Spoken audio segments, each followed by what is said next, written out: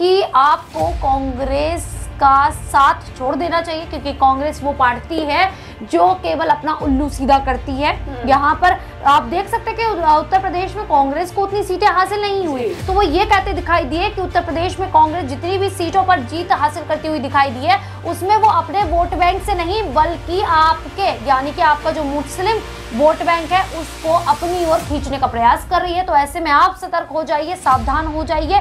तो यही कहा जा सकता है आश्रुति कि उत्तर प्रदेश में भारतीय जनता पार्टी को कहीं ना कहीं अपनी गलतियों का एहसास हुआ है।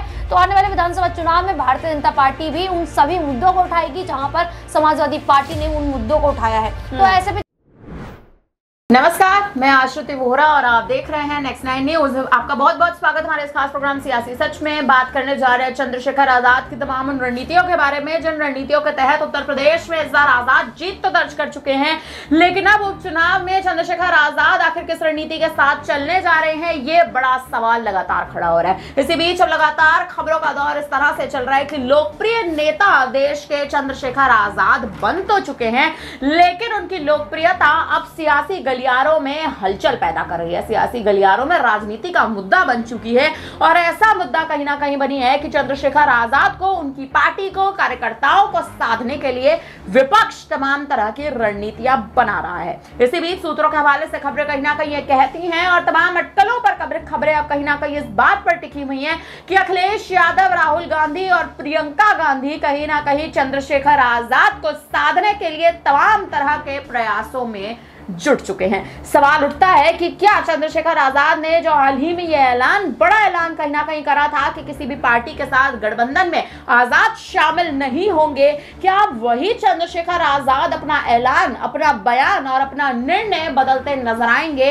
या फिर नहीं। इसी मुद्दे पर चर्चा करेंगे हमारे साथ शालिनी मौजूद है। शालिनी, क्या स्थिति देखती है उत्तर प्रदेश में? आप जिस हिसाब से विपक्ष के साथ गठबंधन तो कहीं ना कहीं चंद्रशेखर आज़ाद ने करने से इनकार कर दिया है। ना केवल विपक्ष, बल्कि एनडीए के साथ भी। आप देखिए, गठबंधन की राह में आज़ाद नहीं चलना चाहते एकला चलो की राह पर चलना चाहते हैं। क्या स्थिति देख रही है यूपी में आने वाले उपचुनाव के लिए?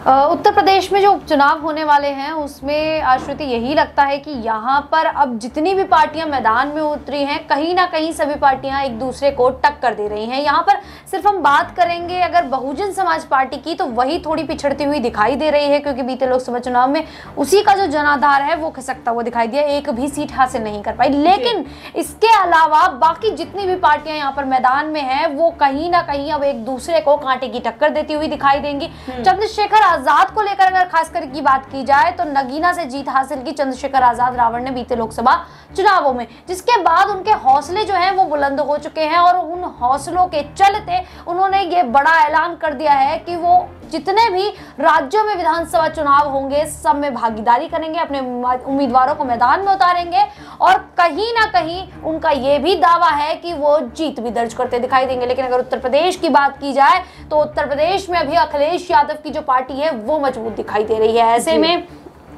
अखिलेश यादव को टक्कर देना काफ़ी ज़्यादा मुश्किल हो सकता है। यहाँ पर भारतीय जनता पार्टी जो लगातार तैयारियाँ में जुटी हुई है, अभी भारतीय जनता पार्टी की हाल फ़िलहाल में उत्तर प्रदेश में एक कार्यकारिणी की बैठक हुई थी, जिसमें तमाम जो नेता हैं उत्तर प्रदेश के वो मौजूद थे, और ऐसे में सीएम योगी आदित्यनाथ ने भी एक बड़ा यहाँ पर दावा कर दिया। उन्होंने कहा है कि मैं वापस फिर से लौट के आऊँगा। इस तरीके का अगर उन्होंने बयान दिया तो कहीं ना कहीं सीएम योगी आदित्यनाथ को लगा है कि इस बीते लोकसभा चुनावों में जो उनका आत्मविश्वास था वो कहीं ज़्यादा था जिसके नतीजे वहाँ पर सामने नहीं आए जो बीते लोकसभा चुनावों में भारतीय जनता पार्टी ने उत्तर प्रदेश में सोचे थे।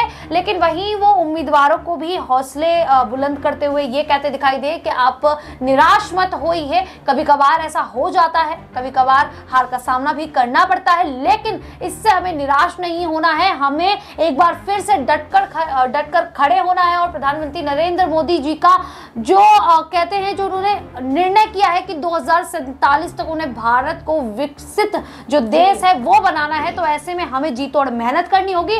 हमें अभी से जो अपनी कमर है वो कस लेनी होगी क्योंकि हमें यहाँ पर विपक्षी पार्टी को हराना है। साथ ही साथ वो अखिलेश यादव को भी एक बड़ी चेतावनी दे देते हैं या हम्म। ये कहें कि नसीहत दे देते हैं कि आपको कांग्रेस का साथ छोड़ देना चाहिए क्योंकि कांग्रेस वो पार्टी है जो केवल अपना उल्लू सीधा करती है। हम्म। यहाँ पर आप देख सकते हैं कि उत्तर प्रदेश में कांग्रेस को उतनी सीटें हासिल नहीं हुई। तो वो ये कहते दिखाई दिए कि उत्तर प्रदेश में कांग्रेस जितनी भी सीटों पर जीत हासिल करती हुई दिखाई दी है उसमें वो अपने वोट बैंक से नहीं बल्कि आपके यानी कि आपका जो मुस्लिम वोट बैंक है उसको अपनी ओर खींचने का प्रयास कर रही है। तो ऐसे में आप सतर्क हो जाइए सावधान हो जाइए।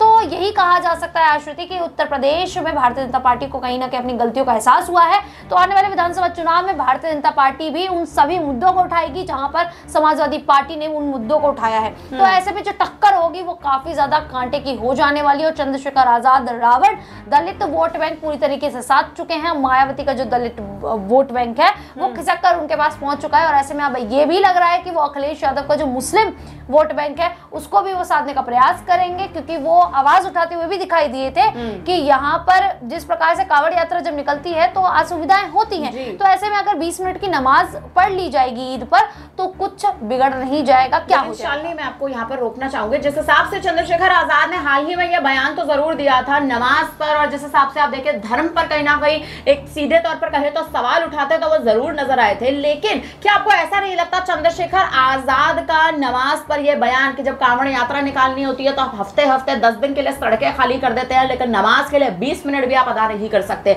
ये बयान कहीं ना कहीं क्या मुस्लिम वोट बैंक को साधने के लिए है या भारतीय जनता पार्टी पर रणनीति बनाने के लिए या निशाना साधने अ, के लिए? ये बयान अगर हम कहें तो मुस्लिम वोट बैंक को साधने के लिए ही है लेकिन इससे अगर हम थोड़ा ध्यान दें इस पर तो ये कह सकते कि इससे Chandrashekhar Azad Muslim vote bank को साध तो लेंगे लेकिन कहीं ना कहीं जो बाकी समुदाय हैं जैसे दलित समुदाय है जो नगीना सीट पर चंद्रशेखर को जीत दिलाते हुए दिखाई दिया है तो ऐसे में अगर वो केवल एक समुदाय को लेकर बात करेंगे सिर्फ़ एक समुदाय पर निशाना साधते हुए देखेंगे या ये कहेंगे सिर्फ़ एक समुदाय को ही समेटने की कोशिश करेंगे तो बाकी के जो समुदाय हैं वो नाराज़गी दिखाते हुए यहाँ पर नज़र आ सकते हैं। क्योंकि चंद्रशेखर आज़ाद अगर नगीना से जीते हैं तो केवल एक समुदाय के तौर पर नहीं जीते हैं। यहाँ पर तमाम लोगों ने उनका समर्थन किया है जिसके बाद वो नगीने से जीत हासिल करते दिखाई दिए हैं। ऐसे में वो केवल अगर मुस्लिम समुदाय का समर्थन करेंगे तो यहाँ पर बाकी जो समुदाय है वो उनसे नाराज़गी जताते हुए दिखाई देंगे और आने वाले विधानसभा चुनावों में इसका जो खामियाजा है वो चंद्रशेखर आज़ाद रावण को भुगतना पड़ सकता है। तो इसीलिए ये कहा जा सकता है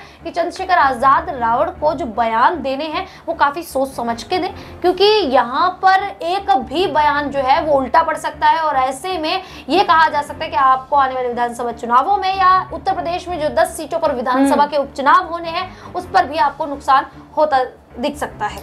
यूपी में आप देखें शानली जिस हिसाब से स्थिति कहीं ना कहीं बनी हुई है, आपने जिस हिसाब से पूरा समीकरण कहीं ना कहीं जनता को समझाया है, लेकिन इसी बीच आप देखें, मायावती का नाम भी सुर्खियों में आ रखा है। कारण इसीलिए क्योंकि राहुल और प्रियंका, अगर आप देखें, या विपक्ष अगर आज़ाद की ओर आता नज़र आता है, मायावती को क्या बड़ा प्रभाव या बड़ा असर मायावती पर पड़ता नज़र आएगा? क्या स्थिति देखती हैं आप?